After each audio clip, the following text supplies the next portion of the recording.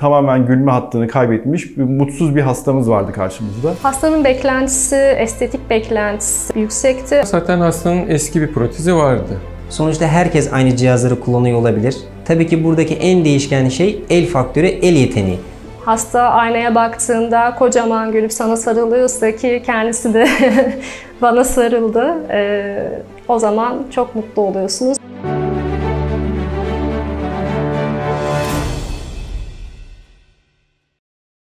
Kendisi daha önce başka bir klinikte e, implant üstü sabit e, protezlerini, zirkonyum e, yaptırmış bir hastamızdı. Ya bu hastamız gelmeden önce her şeyden önce biz buradan hastanın mutlu ayrılmasını isteriz ve gülümsemesini isteriz. Hasta tamamen gülümsemesini kaybetmişti ki bu yani bize göre her şeydir.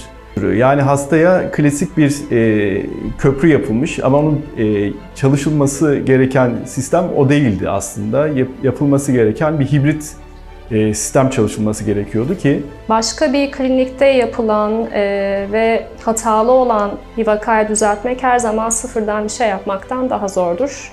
Ekipçe hasta daha gelmeden günlerce üzerinde tartışıp en doğru teşhisi planı e, oluşturmaya çalıştık. Uzman hekimlerimizle işi tartıştık.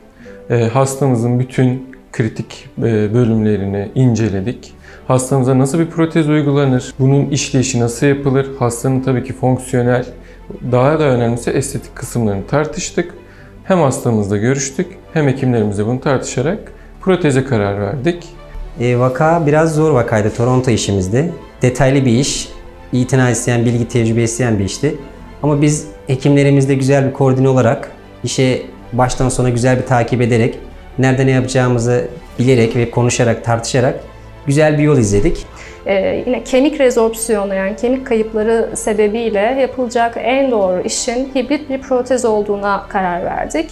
Bunu da dikey boyutu artırmak için ön çalışmalar yani bunu nasıl yaparız e, konusunda teknisyen arkadaşlarla bir fikir alışverişinde bulunduk. Hibrit protezler e, çok çeşitli ama hastanın estetik beklentisi de yüksek olduğundan e, hibrit protez üstüne dişleri ayrı ayrı tasarlayabildiğimiz Toronto'yu tercih ettik.